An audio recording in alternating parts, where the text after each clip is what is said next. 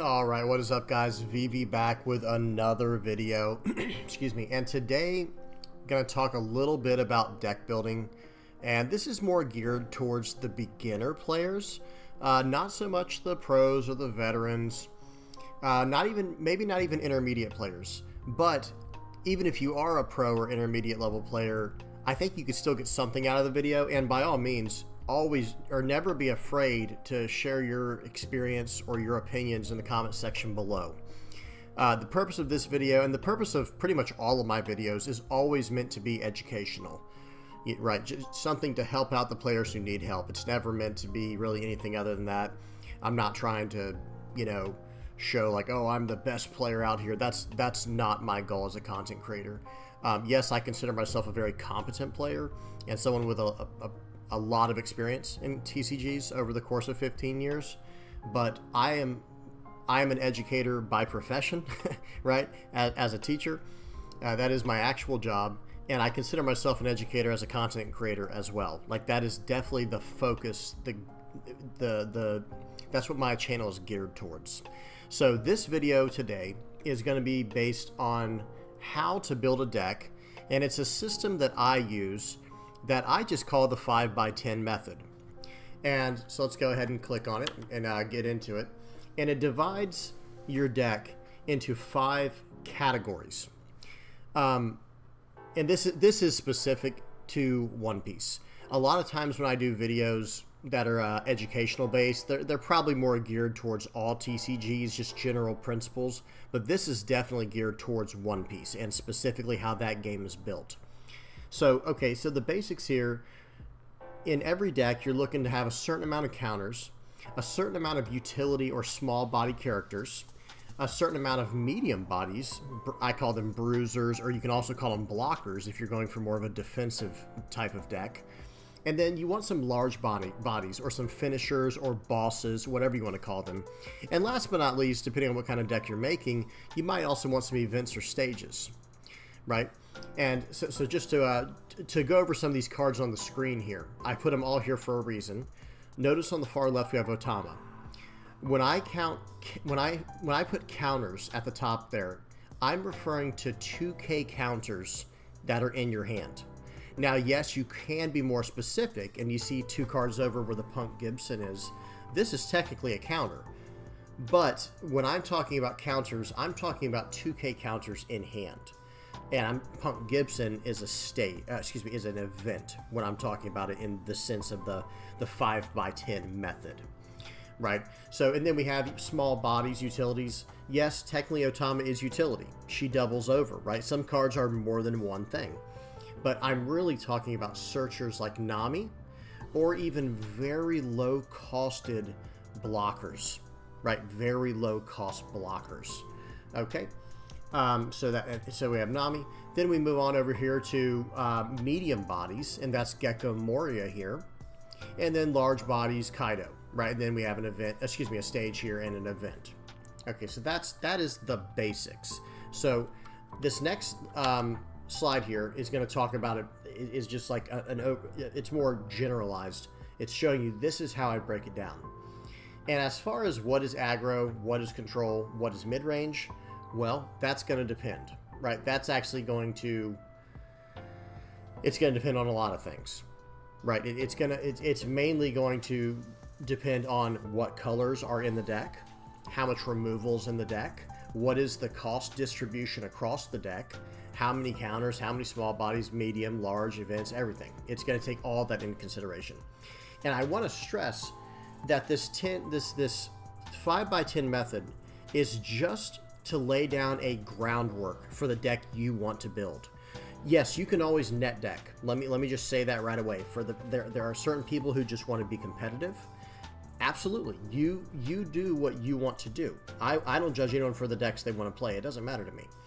But for the people who are trying to make their own decks, and and the people who are new at the game and might not have access to all the cards that they they, they might need to be super competitive, this is geared towards you. This um, presentation, this, you know, whatever you want to call this, this video is geared to you. So let's go ahead and dive right into the first deck. Now, the decks that we're going to be looking at today, with a few exceptions, are going to be like top 10 tournament style decks in, in larger tournaments, regional tournaments, and bigger, right? And this first one, this is what won in Knoxville. This is a Zoro aggro deck. And here's the thing notice how there's only four uh, fields utility, counters, bruisers, and events. We're missing the bosses. Well, guess what? If you want to build a deck that is a little more aggro, well, if you have a leader and, a, and colors that can support the, that style, you can just take all the bosses out of your deck and distribute those points elsewhere. So you take 10 points out of bosses, and there you go. You got 10 more points straight into utility. And utility, remember what I was saying, is things like searchers, right? We got, you know, we got Izo, we, have got Buggy, we've got Curly Dadan. And for those who don't know, Zoro the leader buffs your characters. So in a, in a deck like this, it just makes sense to have a lot of these small utility characters fill up the board wide and swing wide, right? Or fill up the board and swing wide and very low to the ground. Notice we only have seven bruisers and, and, and 10 2K counters. And then we have a bunch of support events as well, which is interesting, right? That's just nice utility, nice defense, all kinds of different things. So that's kind of your first idea on like, okay, let me go backwards. Do you want to make the deck more aggro? Okay, no problem. Just get rid of all your large bodies and fill out small bodies. Like fill out with small bodies of utility and maybe even some extra events or maybe some extra bruisers. It, it, depends on what deck you're playing, and we'll see that as we go on. And none of these, let me say this as well aggro control and mid range, none of these are set in stone in this game, right? Like, like we, we will probably disagree on certain decks as we go across them. You know, you'll, you'll see certain decks you'll be like, no, I think that's a control deck. You know, I, I oh, I think that's a mid-range deck, right? You'll and you'll see as we go through them. So Whitebeard, I would consider this a mid-range deck. Other people might con consider this more of a control deck or even an aggro deck, considering it's running these rush cards. You can definitely say that if you want to.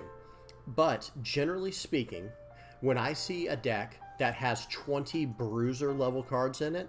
And when I talk, when I call, remember, bruisers, those are the medium bodies. I would consider that anything from like a four cost to a seven cost. Uh, and then, you know, the rest is self explanatory. Uh, you see the utility cards at the top, little one cost blockers, one cost searchers. You got your 12 2K counters. And yes, of course, sometimes your 2K counters can double over as extra utility, like extra damage. Running a single boss card, and would probably, you know, one thing that we should mention about Whitebeard decks is they would probably be running more boss cards, but they only have access to a single Edward Newgate per the uh, per the restrictions over here in the West. And nine events. He's got red. You know, th this is William Craddock's list, by the way. This, like I said, all the lists today are going to be top tier lists that you, that you will have that you can find in major tournaments, um, and you can kind of get an idea of how they built the deck. I'm not saying they were using my method, but when you lay it out like this, you can kind of see like, oh, okay, he wanted to have a little more control of the mid game and, and push from there, and that's why you notice how the deck is built. Okay, you know, six four drops, you know, seven five drops. You see what's going on there. Okay, next up is law. Aggro is definitely a loose term when referring to law. There's a lot of control aspects to this deck. I'm, I'm not ignorant of that, you know, but but it is very much low to the ground and runs, you know, four very strong rush cards and four very strong restand cards. And, you know, one Luffy, three Zoro, and four restand Law. And it has a lot of utility stuff going on here. Tons of searchers that it can use later, you know, to uh, find what it needs. Lots of little low cost blockers lots of 2K counters. Well, lots, you know, lots. This is 10. And then it's got a few events. Not too many events. It, it, it, would rather have the character utility and the beaters on, on the field. You see what's going on there. Okay, let's keep going. So next up, Crocodile. I would consider this a mid-range deck, but I think a lot of people would actually consider this more of a control style deck, which is fine. That's fine. You like I said, you should don't take this mid-range aggro and um, uh, control you know word th these classifications as gospel they're they're not 100% gospel truth or anything like that it's just meant to kind of give you an idea of how the deck plays out and how it's built. So, for example, this Crocodile deck, yes, it does have six boss monsters, making it kind of seem more like a control deck, right? It has tons of removal. It's running four Red Rocks, it's running four 3000 Worlds, two of these uh, Dragon Twister Demolition Breaths.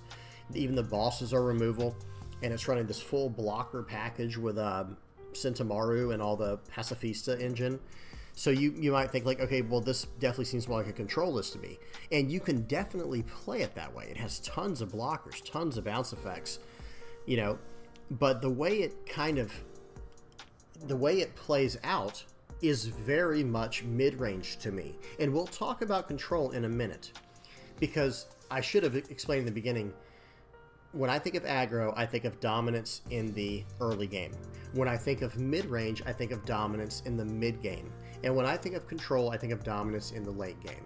And that's where these these bosses really come in handy. But we'll see as we go on. You'll see as, as I go on, or as we go on, it really has lots to do with the leader as well. So next up is Katakuri mid-range. Um, again, you can almost see this as almost like a control deck with all these bosses, but not really because it's lacking events. I would say the characteristics of a strong control deck is lots of events, lots of bosses, lots of utility. Low in bruisers slash blockers, and counters is actually probably mid because you're going to have a lot of event support for for your um, for a lot of your counters, your counter power.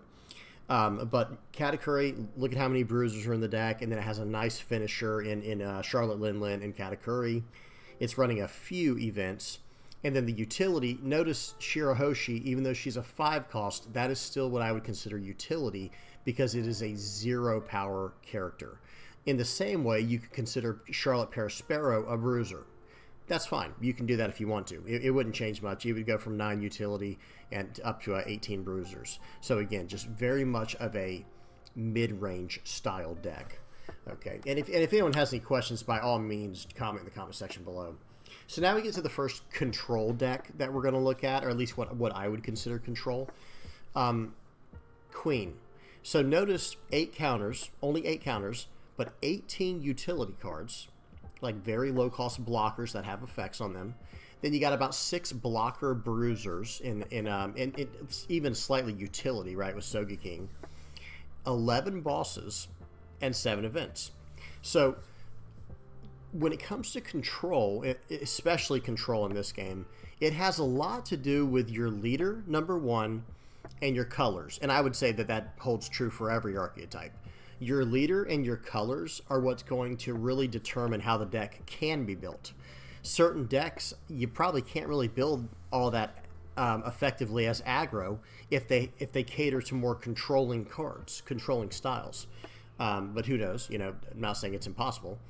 But but for this for this deck in particular, Queen, I would consider it control because it's running a ton of blockers, strong removal, and a lot of bosses. So that way, when you transition into the late game, you can run the full engine off of the leader's effect and just survive and stay in the game. And for those who don't know, Queen, the leader, the way her effect or the way his effect works is basically when you have four or less cards combined in your hand and life. Like if you combine your hand cards and your life cards, if you have four or less, you can attach one Dawn and attack. And if you have a character in play that has eight or more cost, then you can gain a life. And yes, that's a lot of stipulations, but that's why we specifically are running these um, boss characters here because they're nine or less and that way we can gain life and whatnot. So very very powerful, uh, potentially very powerful um, leader effect there, and, and and it really builds towards it gears towards an attrition style late game. Like okay, I'm in full control. Okay, next up, trolling people a little bit here. It's this is the same idea as law. I know Rebecca is not a aggro list, but I'm messing around a little bit here because look at what we're looking at. Like just just take a glance here. 12 counters, 15 utility cards. I guess you could argue that Kyros is more of a bruiser, but that still doesn't really help the case. That makes it even mid range. Because then we have 12 blockers and bruisers. 11 stages and events. So this deck is very balanced as far as being all over the place, except it doesn't really have a boss card. Sometimes people will run a Kaido or a um, Kuzan, right? And that gives you a little bit of extra strength in the late game. But ultimately, from all of my experience playing this deck, it operates very much like an aggro deck. And if it doesn't, you actually feel worse. Like you, you want it to, to feel like an aggro deck. You want your Corrida Coliseum down. You want to be able to attack the turn your characters come to play, just like a rush deck would. And you go from there. Now, yes, I do understand it's meant to be a control deck. I understand. But I'm just saying we're going to look at what a control deck should be in a moment. Okay? So next up, let's go ahead and take a look at Doflamingo. This is a very, I would actually consider this a control deck. This is a very powerful deck in the in, in the sense that it has a lot of card draw, which is character which is a characteristic of a um, control deck is lots of card draw, dependable engine like card draw. It has it doesn't have a lot of utility, but it does have a lot of events to, to protect your board and to protect what you're doing and it has a lot of blockers and a lot of control aspects in Sugar and in Doflamingo, D Don Quixote Doflamingo, the 10, the 10 cost uh, boss card there. It's running 10 2K counters, uh, four of which in Buena Festa are actually searchers as well. You could argue that's part of the utility package as well. And really, if you want to get technical, you can take Nami out of the utility package and put her into the Bruisers. Um, this deck can function very much like a mid-range deck, that's for sure. Um, but I, I personally think because of the leader's effect and because of the amount of blockers, it's actually meant to be played as a control style deck. And that's not to say you couldn't play it mid-range, but I think you guys see what I'm saying. It, it's, it's very much geared into being a control deck. Okay, now we can talk about an actual control deck. No, I am not a big fan of Nami. Uh, I've never played her in a tournament. It's not what I'm trying to play. But this is what I think a control deck should look like at the bottom there. 32 events, only four bruisers, which really doubles over as utility. We all know what Zeph does. Eight utility cards in ways to get cards back or search cards up, and six 2K counters. Just a little bit of 2K counter action. And as everyone knows who's played this game or has played this deck, Kaya is actually not a 2K counter at all. Yes, she, she technically is, but you use her as a draw to, trash to, and then you um, Arabesque uh, brick fist her back to your hand. So, you know, it's very much different. It's very, very different from what you might, might expect.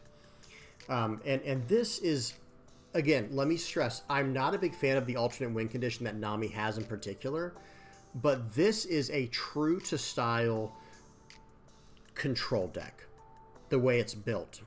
So uh, very interesting. I do like this a lot, and I, I hope I hope there are I hope we get more support from events in the future, so that we can so that we can actually make a control deck in the future. Because as is, like I said, we have you know Doflamingo's pseudo control, Queen is pseudo control, and then we're going to go forward here into one of my favorite lists, uh, Black Yellow, Charlotte Linlin. And I just want to show you guys right away. No, notice how balanced this list is because I built this list using my 5x10 method. And it did very well for me. I went three and one in a recent uh, store championship, got top eight. You know, it was it was a good it was it was good. The only thing that beat me was a Whitebeard, and I, I truly don't think there's any shame in losing to Whitebeard. for those who know how this game works, you know, that's not saying much. Like, oh, you lost to a Whitebeard? Oh, you know, wow, that's crazy, right? Um, but I was able to take down two Zoros and um, and a Zephyr and a, a Z deck with this. And with this, with a similar list from OP03 with no, none of these OP04 cards, I've been able to do very well in terms as well, like in local tournaments that were pretty large, you know, 20 plus player, or well, I'd say right around 20 player tournaments, where I was able to get second and third. Uh, only losing to players who are extremely good, you know, extremely good at the game and so on and so forth. Uh, and that's running a black yellow Charlotte Linlin list that looks like this that's running a 10 10 10 10 10 package. And now I want to show this to show that, okay, if I were to go forward with this deck and really try to hash it out, I noticed a few things. One the game I lost against um, Whitebeard, I was completely overwhelmed with boss cards in my hand. I had five boss cards in my hand that have no counters and, and aren't helping me get to the late game. So I made some changes using this method, saying, okay, well, I can go down a few bosses. I went down one Charlotte Linlin and down two Katakuris, and went up three uh, cards elsewhere, right? I think I went up uh, two counters and one utility card, but then I also took down one um, Narikabura arrow because there was one game I think I had too many in hand. It didn't cost me the game or anything, but it was like, okay, I think I might only need two. So I went up one more utility card, right? I went up to four Fukuros. So you see what I'm saying? You can use this method right here to just get started. Like, let me just make a deck that has the of, of the colors I want to play, of the leader I want to play. I'll just I'll throw down 10 utility cards in there, 10 counters, 10 blockers, 10 bosses, and 10 events. I'll play it. You know, you might get wrecked. You might get wrecked the first game. That's fine. That's fine. Then you're going to see what went wrong. Like, be very observant. Like, oh, okay, you know, I had too many bosses the first game. Okay, well, let me take some of the bosses out and then put that elsewhere. You see what's going on. And uh, lastly, I just want to have this screen up. By all means, screenshot it if you want. Th th this is the idea here. This is the idea here. I should say it like that. When I'm building a deck, when I'm starting off, when I'm trying to build my own deck, something I can fight the, the meta with, this is kind of the method I would use um, in this game in particular. I'm going to put all, you know, the, the 10, the 5x10 method, and, and this kind of lays out what it is. Like for your 2K counters, you want the ones with the most utility, right? That's that's obvious, right? For your 10 utility cards, this is your 1 through 3 cost characters. You want to make sure you get enough searchers, triggers, block, low cost blockers, buffers, fillers, draw cards, stuff like that here. And then for your blockers or bruisers, what kind of deck are you trying to build? Are you trying to build a more aggro list or are you trying to build a more mid-range list or control list? Like what are you trying to build? And that will determine everything. If you're trying to go for a mid-range list, you might want more aggressive characters, aggressively statted characters who are not blockers, who have some type of powerful effect, or even a vanilla character that is extremely well, like cost effectively, you know, it's uh, created in cost effective terms. And then, of course, you got the 10 bosses Maybe you don't need 10 bosses, right? Maybe you want an aggro list. Okay, we'll take all of the boss cards out if you want an aggro list and throw them all into the utility slot and go from there. And then you got your 10 events. And again, events and utility go hand in hand. You know, they might be removable, they might be counters, they might literally be utility cards, they might be searchers or searches, buffers, fillers, draw card. It's, it's going to be up to you and how you want to build the deck. And then last but not least, you know, always consider your keywords when you're building the deck that synergize with the searchers. Uh, so for example, let me go to a deck that has that. So for this one, for example, Doflamingo, you know, we got Nami here. This searches a straw hat or film card. So in other words, you know, it can grab Gild Tesoro, he's film, but it can't grab Diamante. It can grab Luffy, but it can't grab Doflamingo. You see what I'm saying? So you want to make sure your list has, if, if you're going to run a searcher, like, like Nami here, which is a great idea, if you're going to run that, make sure you have enough decent, you have a decent amount of targets to, to hit with it. Does that make sense? And as usual, if you guys have any uh, questions, please don't hesitate to ask. Okay. Uh, next, next thing I just want to mention, always consider a decent balance of cost so that you have a play every turn. What do I mean by that? Make sure you have a good amount of 1 to 3 cost characters for the early game, a good amount of 4 to 7 cost characters, and a good amount of 8 to 10 cost characters. So that way, think about it like this. If you just put nothing but huge boss cards in your deck, well, what are you going to play on turn uh, 1 through 7? You see what I mean? Or say you only put a lot of blockers and bruisers in your in your deck. Well, what are you going to play early in the game on turns, you know, 1 through 2, and then late in the game on turns like 4, 5, 6, and 7? You, you might not be able to transition into the late game effectively. You see what I'm saying? Uh, and then last but not least, uh, this is just a starting template. Make adjustments as you see fit, right? You're going to be playing the game. You're going to be piloting a deck. If you think, let's go back to, um, let's just look at my, my uh, Charlotte Linlin list here. If you think that you don't want it to, if you don't want your deck to be control, maybe you should go more aggro, right? Or if you don't want your deck to be aggro, maybe you want it to be more mid-range. Like, let's just take a look at, like, the Katakuri deck. Maybe you want a list that's, you know, has lots of bruisers in it where you can just tempo out, right? You just go, you know, all right, we'll grab a searcher into a big body, into a bigger body, into the biggest body. You know, that might be how you want to build the deck. Um, and I, I do still have a, a video series planned for taking your game to the next level.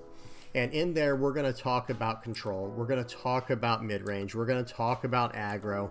We're going to talk about all kinds of stuff relating to, again, taking your game to the next level.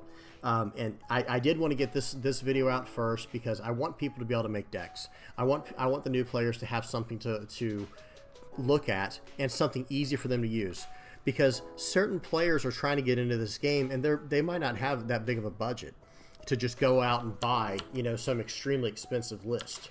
Um, you know, there, there's a few of these lists, like for example, Katakuri. This is not this is not a cheap deck, right? Even if you're not buying alt art, some uh, it, this one as well. You know, Queen is not a cheap list. Same thing with, uh, well, same thing with Rebecca. Same thing. None of these lists are really getting cheap anymore. They're kind of as the game goes on. I feel like it is getting a little more expensive. Now this is a pretty cheap list, the Nami one, um, but black this Black Yellow Linlin, this is the opposite of cheap. this is the exact opposite of a cheap deck. So anyway, just just something to hopefully help out some of the newer players and I can only I can only um, address so many things in a presentation like this. So if there's something I missed, or if there's something you want to know that I didn't um, talk about, or if I missaid something, by all means correct me. Help me out where I missed mess things up. I'm not perfect. And uh, if there's any um, any any questions at all, please do not hesitate to ask in the comment section below. I don't want to say I'll answer it, you know, as soon as you know instantly or anything, but I will answer it as soon as I possibly can. Uh, and you guys know how that goes. I might be at school when you when you message the first time, but but yeah. I hope this helped, guys. Uh, this is I love building decks. It's one of my favorite things to do, and I do want to stress that you know these lists that you're looking at that I use. These are not just some random lists that like aren't any good. These are these were lists that have either won tournaments or were in the top, you know, top 32 of, of large tournaments. This Zoro deck won a regional. This was the second place deck in that regional. This was the third place deck in that regional. This was like the top, some top 16 deck in that regional or top 32. This was a top five deck in that regional. Um, Queen was top 32 in that regional as well. This was a top 32 Rebecca list. Doflamingo, same thing, top 32 this Nami control deck is a first place um, deck from the East over over in the uh, Japanese meta.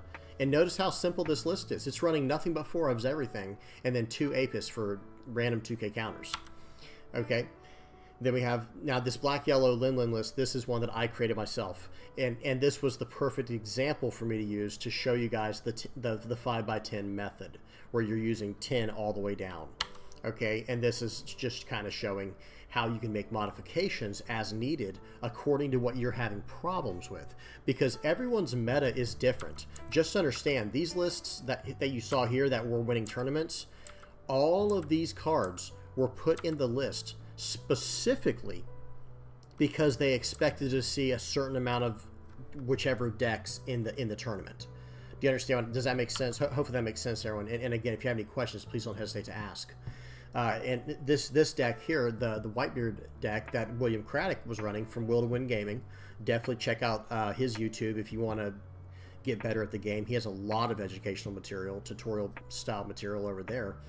Um, this list is a perfect example of how he literally went almost almost into full on control mode uh, as a Whitebeard deck. Notice he's running 12 2K counters. He's running nine events that are all counters. They're all like plus, you know, 3,000 plus 4,000 uh, counters. Only has one boss monster, of course. You know, you can only have the one Newgate. And then he's just running nothing but beaters, nothing but bruisers in the middle there. So just just incredible. You know, just th this list was catered specifically to try to win a tournament, right? Because that's that's what this was all about. And you know, he made his adjustments accordingly. Uh, same thing with the Zoro list. It was built a very, very specific way. Notice how many events are in this in this Zoro list. There's not very many bruisers. It's just straight utility, lots of count, you know, good amount of counters. I don't want to say lots, 10, 10 counters. That's a good amount. And then just utility events. Some of them KO, some of them defend.